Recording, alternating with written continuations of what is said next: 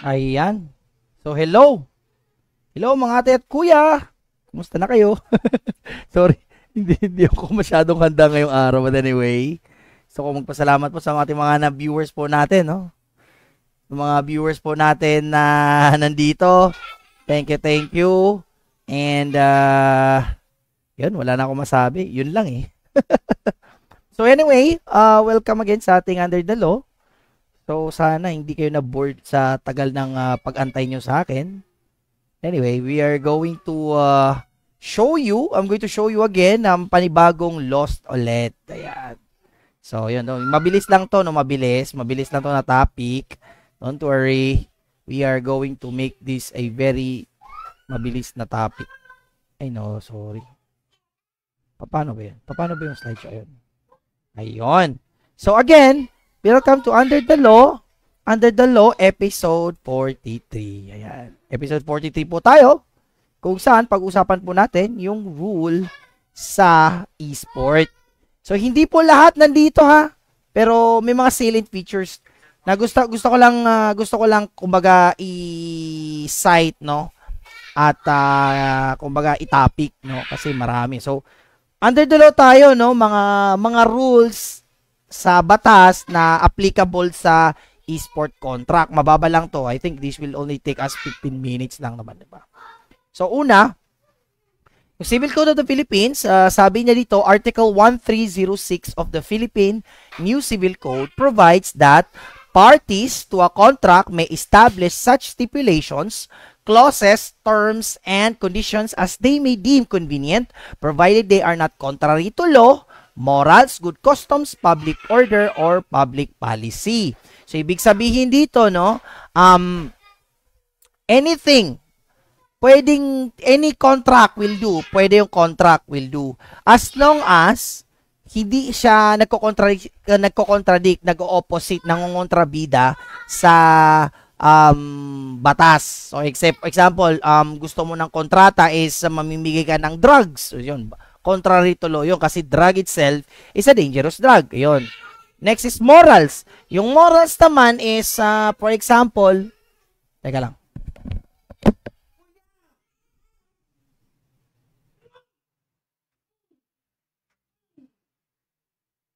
Look at this.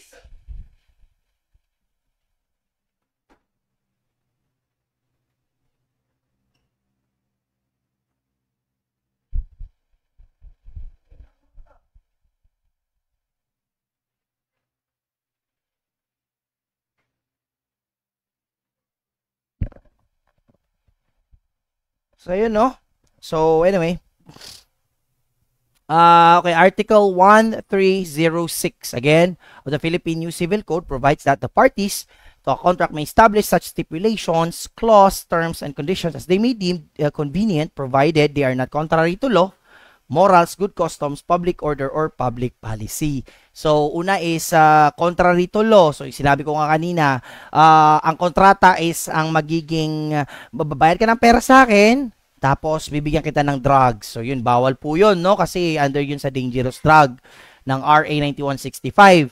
Uh, morals, example, um, um, uh, let's say for example, um, mangangasawa ka ng uh, you, you will you want to marry a uh, uh, you, you want to marry siguro um, um, papakasalan mo siguro yung uh, uh, hindi tao. For example uh, you are going to marry uh, an animal. Yon morals. Immoral yon pwede din yon no? Uh, next is uh, good customs. Yung mga customs if possible mga customs yung of course yung mga customs and traditions natin Public order at saka public policy, marami po yan, okay? So, yun po. Yun ang una muna na pag-usapan mo natin sa e-sport, no? So, pwede, anything under the sun ay pwede sa ating e-sport contract. Rulebook man yan, prize pool man yan, tournament, e-sport contract man yan na papasok nyo as a contract of service. Bang importante, hindi siya contrary to law, hindi siya contrary to morals, hindi siya contrary sa good customs, public order, or public policy. Ayan, so, So tatandaan niyo yan, yun yung muna uh, isipin natin na pwede anything basta hindi doon sa baba. Hindi hindi hindi ko kontra dito sa sinabi lang provide they are not contrary. Okay? Next. Uh, paano naman if namatay yung sponsor or papa uh, or or uh, yung sponsor ay kumbaga walang maibigay na pera kasi wala sponsor siya ng event pero wala pala siyang nabigay na pera. Ayun. So, uh, paano makukuha ng winners yung prize? So, paano makuha yung winners ng prize? Eh, Article 1311 states that contract take effect only between the parties. There assigns an heirs except in cases where the rights and obligations arising from contract are not transmissible by their nature or by stipulation or by provision of law. The heir is not liable beyond the value of the property he received from the decedent. Okay, ang ibig sabihin dito, no, ang contract magte-take effect yan sa parties, yung mga heirs niya Okay, bakit bakit bakit mga heirs niya? For example, kung namatay yung sponsor, hindi porket na namatay yung sponsor ay mawawala na yung prize pool, no, na napanalo na ng mga winners. Pwede pa rin yan habulin saan sa kanyang estate. Kaya nga sinabi yung mga heirs. Syempre, magmamana sila. So bago sila magmana, mayroon munang mga magaganap na uh, payment of the debts of the sponsor. So, hahabulin pa rin yan. Eh, paano kung wala talaga siyang pera? For example, wala siyang pera, hahabulin pa rin kung anong mga available na properties. Di porket sinabi ng ating sponsor, wala akong pera, wala akong pera. Kung hindi ka magbabayad, pwede pa rin siyang kunin, no? Saan? Sa kanyang mga properties na available, Example, yung garnishment. Yung garnishment naman sa bangko yan. Kung gustong kukuha ka, i-stop mo yung, parang i-stop mo yung pag-withdraw ng pera, ikaw mag-withdraw by the court's order. Ayan, according sa Civil Code, no, Article 1311. Please take note yan, ha. Next, ano ang essential requisites ng contracts? Itong contracts na pwedeng e-sport contract. Okay, take note of that. So, tatlo po ang ating tatandaan dito sa under Article 1318. Sabi dito, there is no contract unless the following requisites concur. Or, these are the requirements to have a contract. Una is consent of the contracting parties. Ang consent dito is can be implied or expressed. Yung implied is usually parang kumbaga silence means yes, mga ganon, no? Ini-imply mo, no? Or or by gestures, pwede pwedeng may may meaning. Pero mas mabuti, no? Mas highly recommended na consent should be in express, especially in writing kasi para may katibayan tayo. Consent. Ayan. Number two, object. Object certain which is the subject matter of the contract. So kumbaga object, uh, siguro ang object dito sasali ka ng sasali ka ng uh, ng event, no, 'di ba? Or or or example, kung bibili ka ng sasakyan, eh bibili ka ng sasakyan, the object is sasakyan. Bibili ka ng bahay, bibili ka ng bahay, house. Pero kung usapan sa e-sport, ang object would be anything. Basta hindi ya outside beyond the beyond the beyond the reach no or beyond the beyond the commerce of man no. For example, event, ayun, yung event, yun yung object no. Sasali ka sa event. In case na manalo ka, may mapapanalunan ka. Ang kapalit naman doon is cost. Ayan. Cost which of the of the of the uh cost of the obligation which is established. Ito very common to sa mga e-sport events. Ayan. Sasali ka, magbabayad ka ng registration fee. Ayan, babayad po ako ng registration fee. So, hala. Ayan, registration fee. Good for you. Ayan. Registration fee. Yan yung cost. So, yung tatlo ang magbabayad. Ayan. Now, mistake as to the qualification. Like, let's say, for example, merong mistake. Um, konting mali lang, no? May mga mali. May mga mali na provisions. Let's say, for example, uh, sinabi doon, hindi nakasulat doon, is um, kung isang event, nakasulat sa event is female only, tapos um, male yung uh, dapat sana female pero nakasulat sa kontrata walang nakasulat na male or female unisex ayun. Pero dapat sana female yon sabi ng article 1331 these are the mistake of qualification provision. In order that the mistake may invalidate consent it should refer to the substance of the thing which is the object of the contract. Ayan. It must be the substance of the thing. For example, kung makita doon sa kontrata, ay uh, example sa example sasali ka ng female fatal tournament, ah, di ba? Female fatal tournament. Hindi sinabi doon na female. Pero nakasulat doon sa information, ang substance ng nandoon is may color pink, uh, uh, uh, yung grand prize is skirt or or or um, uh, cellphone na pink, yun. So, it, it should be the substance of the thing, no? So, iisipin mo rin, kahit hindi sinabi doon sa e-sport na tournament ay bawal ang lalaki, pero yung price naman is pang babae, eh di normally, babae lang naman yun. Huwag na natin pag-usapan yung LGBTQ, no? Kasi hindi ko pa alam yung ruling dyan, no? But in the eyes of the law, it's a female. In the eyes of the law, ha? So, ibig sabihin, uh, with respect to the the gender sensitivity no at saka gender equality and of course the transgender and the intersex or whatever it may be pag sinabi ng female it means a woman who have a reproductive organ of a woman. The same time male reproductive organ of a male. Ganun okay? By birth. By birth or natural. Okay Um, sabi dito, mistake as to the identity or qualification of one of the parties will vitiate consent only when such identity or qualification have been the principal cause of the contract. Okay. For example, yung identity. Sumali ang isang player sa isang event. Sabihin na lang natin na sa kwan, siya ay uh, siya ay kumbaga uh, sabihin na lang natin Cheater. Ayan, cheater na lang siya, cheater. He's using a third-party app. Okay? Pagpasok niya sa event, wala naman siyang kasalanan, pero tinanggal siya sa lineup. Sabi niya, hindi ka pwede kasi cheater ka. So, yung mistake ng identity dito, it should be the principal cause of the contract, no? Yung cause ng contract. So, yung contract na yun should be existing, no? So, kung example, before siya ay isang cheater, pero pagpasok niya sa event, hindi naman siya nag-cheat, pwede pa rin siya, no? Ang tinitingnan dito is how the contract existed.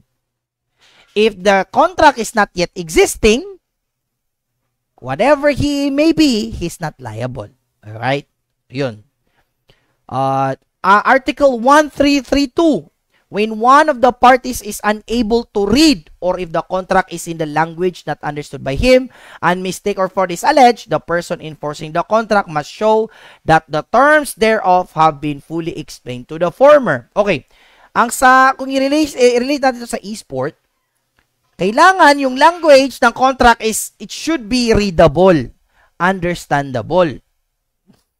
Yung person na mag enforce example, yung tournament sponsors, kailangan they must show the terms and fully explain to the former. Kaya, in many cases, mas better na pag example sasali na sa esport game, I really recommend, no, na pagsapit ng semifinals, magkakaroon ng konting deliberation or meeting or assembly with the participating team kumbaga waiver yun kung hindi kayo sasali doon tapos ang usapan. Bakit? Kasi may mga bagay minsan na akala natin ay correct pero may mali pa lang connotations. Alright. So, because tournament is a tournament with uh, with uh, no, with with uh, many teams, ang nagaganap doon is kailangan pa rin ng fully explanation of the contract. So I believe that marami nagkakamali pero kailangan pa rin ng fully explanation. So in the e-sport uh, era, mas better na pag sa pag hindi lang babasahin, minsan gina-explain din. All right? Next, failure to disclose, terminated yung contract. Pero if ever naman na yung pag-disclose ay immediate, pwedeng uh, pwedeng mabago pa yung contract. Let's say for example, uh, ah, 18 years old yung or legal age. Okay, sige na, legal age na lang. Legal age. Tapos uh, sa legal age uh, sabi ang pumasok doon 16 years old. So she believed na uh, 18 years old siya. So failure to disclose facts. 16 years old siya, pumasok siya sa legal age na tournament. Duty niya na ipakita yung kanyang edad because it will constitute fraud, panluloko. Oh, okay? So it's a lie. So, pwede po yon matanggal. Ayan. Take note ha, it must be a, uh, it must take effect, no? Kailangan meron siyang crucial crucial effect doon sa event. Alright? Another one, sabi ng, uh, kasi wala kasi talaga tayong kwan, eh, stand-alone na e-sport contract, no?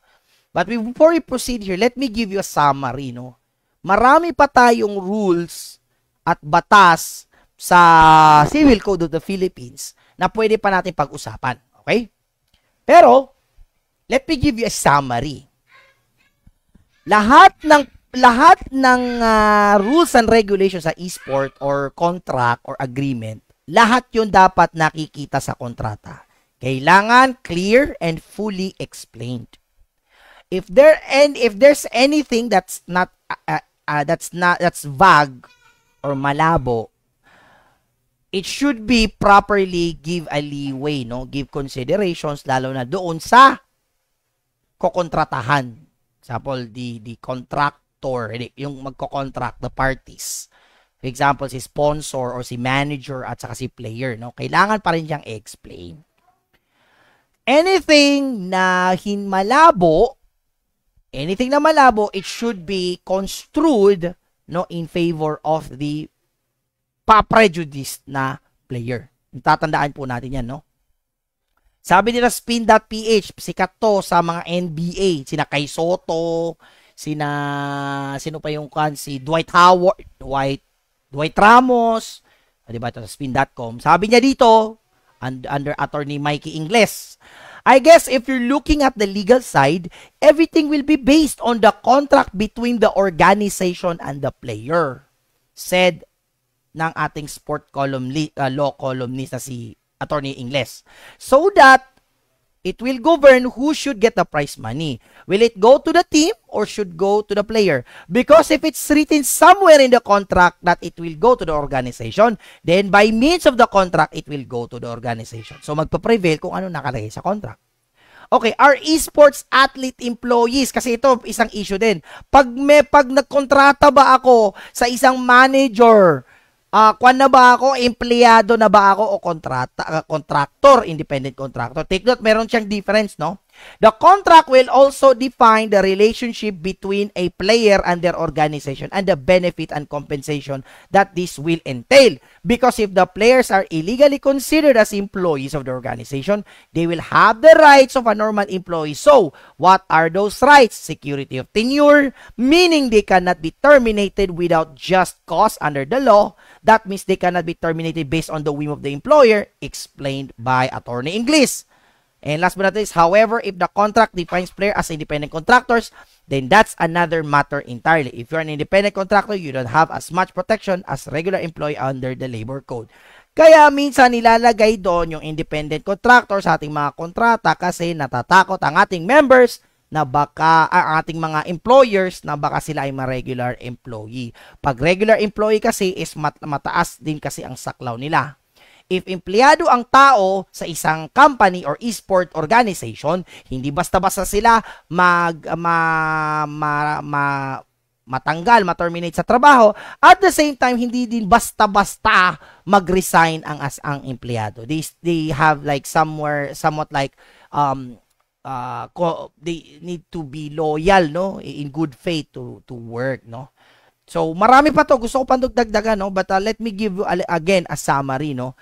If there's a contract, no, sa e-sport world, sa e-sport world, whether you are going to contract, magkakapag-kontrata ka, nagagawin mo siyang team, uh, team player, team member sa isang organization mo, or sasali ka ng event, uh, the civil, uh, the, the contract, the contracts stipulated in in the rule book, in the rules, in in whatever contract or service is there should be followed. As long as hindi siya contrary to law, morals, public order, public policy, yun ang una.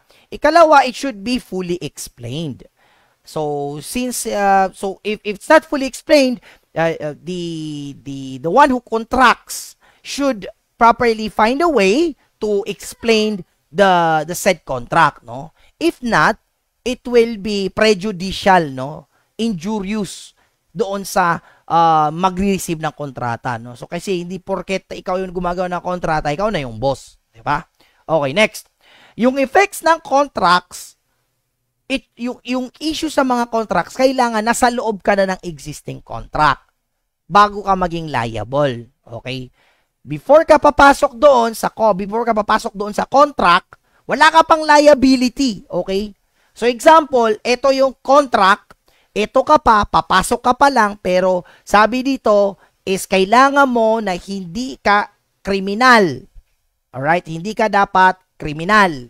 So, yun lang ha, let's just, generic lang yun ha. For example, hindi ka dapat kriminal, papasok ka dito kriminal. Kung criminal ka dito, sa labas, pag pumasok ka, hindi ka na kriminal, pwede yon. Likewise, if you have like a documents that you have, you know, uh, modified or like say for example, you falsify the documents, for example. Pero nung pagpasok na dito is yung magpa-falsify ng documents ay example sa isang team, tinanggal siya, pinalitan.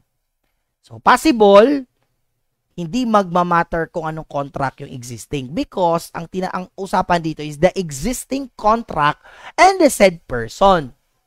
If the person while he's outside, he made a wrongful act, ergo falsification, tapos nakapasok siya, nakapenetrate niya doon sa contract, he's still falsifying, the effects is, it, it constitutes a fraud, no? Under the civil code. So, marami, marami pong yung mga, mga tanong na yan. Next, um, may mga contracts din na kailangan din ng legal uh, analyzation. So, those uh, uh, employers, managers, or or tournament uh, tournament uh, sponsors, make sure that whenever you make a contract, it should be read, no, more than twice. Kung pwede, kailangan mo pa rin kumuha ng isang paralegal or legal assistant or abogado. The point there is that para may para wala ng aberya sa huli. Uh, but uh, to give you a summary, the this issue would uh, but to give you the summary is that uh, contracts in an esport should should only bind based on uh, how do you call this? Based on what is stipulated in contract. So yun lang po no? Maraming maraming salamat and sana po ay nag-enjoy po kayo sa aking uh, mababang uh, explanations. We will still add more topics in the near future. Ako po ang inyong kuya sa batas po, no? si Attorney Mox. And nagsasabi sa inyong mahalin nyo ang inyong asawa dahil sila po ang tunay na batas. Bye-bye!